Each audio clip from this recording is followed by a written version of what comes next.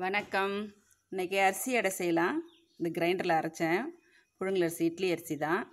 உப்பு போட்டு அரைச்சி வச்சுக்கினேன். இது அப்படியே தட்ட முடியாது. கொஞ்சம் தண்ணி வாட்டாக இருக்குது அதால் வானலில் போட்டு வதக்கலாம். அதுக்கு தேவையான பொருள் என்னன்னு பார்க்கலாம். அதுக்கு வெங்காயம் ஒரு நாலு வெங்காயம் எடுத்திருக்கேன். இது ஒரு ஆறு வெங்காயம் ஆறு பச்சை மிளகாய் எடுத்திருக்கேன். கருவேப்பிலை குண்டு உளுந்து கடலப்பருப்பு. இது எல்லாத்தையும் வதக்கிட்டு வ இதெல்லாம் வறுத்துட்டு இது வதக்கி மாவையும் போட்டு இதிலே கே தண்ணி சுண்ட வச்சுக்கலாம். அப்போ தான் அடை தட்டுற அளவுக்கு வாட்டமாக வரும். நல்லாயிருக்கும் அப்போ தான் அடை தட்ட முடியும் அப்போ தான் எண்ணெய் ஊற்றிருக்கேன் கடுகு. உளுத்தம்பருப்பு ரெண்டு ஸ்பூன். உளுத்தம்பருப்பு ரெண்டு ஸ்பூன் கடலப்பருப்பு ரெண்டு ஸ்பூன் போட்டிருக்கேன்.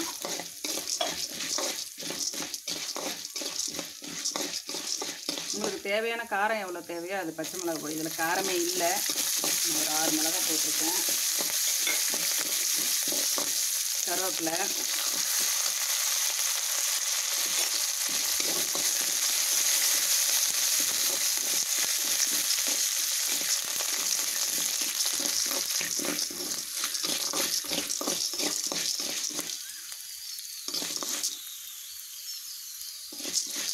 நல்லா செவந்துருச்சு.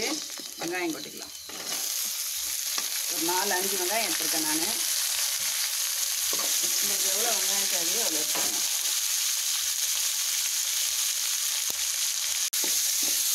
இது நல்லா வதங்கட்டும். கொஞ்சோண்டு உப்பு வெங்காயத்துக்கு மட்டும் உப்பு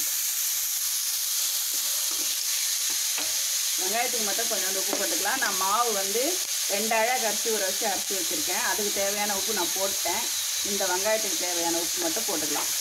இது நல்லா வதங்கட்டும். அப்போ தான் வாசமாக இருக்கும் அடை. நல்லா வெங்காயம் நல்லா வதங்கிடுச்சு.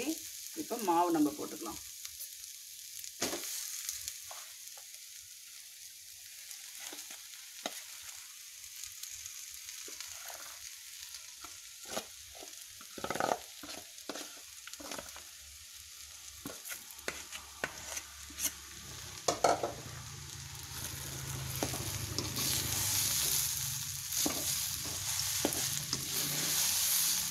அடைத்தட்டுக்கு பக்குவமாக இது தண்ணி சு- நிறுத்திக்கலாம். நிறுத்திட்டு ஆற வச்சு உங்களுக்கு அடை தட்டி காட்டுறேன். இது நல்லா டேஸ்ட்டாக இருக்கும்.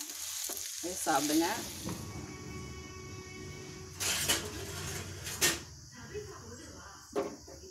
தோசைக்கல் வச்சுருக்கேன் எண்ணெய் போட்டிருக்கேன். இது மாதிரி இலையில தட்டிக்குங்க.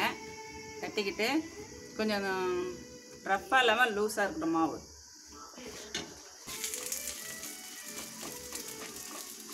நல்லா செவக்கட்டோன்னா ரெண்டு பக்கம் திருப்பி போட்டு நல்லா செவக்க எடுங்க நல்லா டேஸ்ட்டாக இருக்கும். வேகட்டும். நல்லா இது மாதிரி செவக்க வேக வச்சுக்கோங்க.